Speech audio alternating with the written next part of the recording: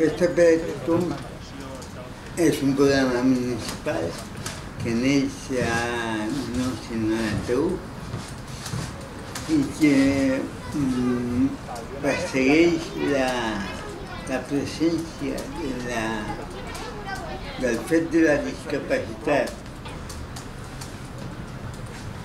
i aprofito per això eh, eh, el moment més àlgid de la ciutat, que són les festes de Santa Tecla. En l'inici, eh, això es fa eh, la participació de, la, de les persones que viuen a la residència de Sant Salvador a través d'un camp de treball internacional de voluntaris i a través d'una entitat que diu Servei Civil Internacional.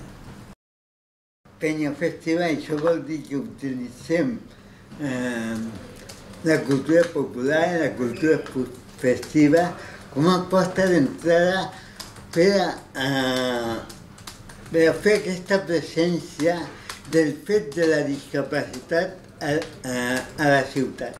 D'ella seria visualitzar aquest fet a través de la nostra presència.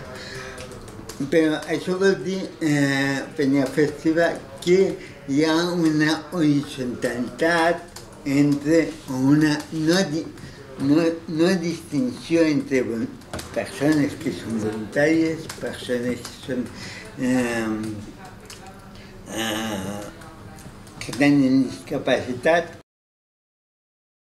però havia un somni. Havia un somni que que eh, de ser espectadors de la festa, participants espectadors, a ser participants eh, en el sentit de portar una, una, algun, algun element que, aport, que aportés a la festa. Em va agradar molt que el grup que ara formem la, la colla de portadors eh, acollís tan bé la, la figura també.